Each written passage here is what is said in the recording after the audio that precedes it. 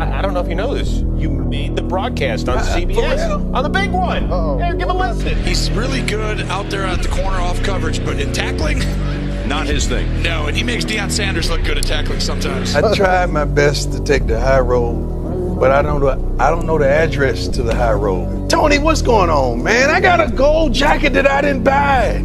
Dak says hi. and bye. How many interceptions? How many interceptions? 19 in 2012. Come on, man. You threw to everybody but me. Leave me alone. I tried to take the high road, but I don't know the address.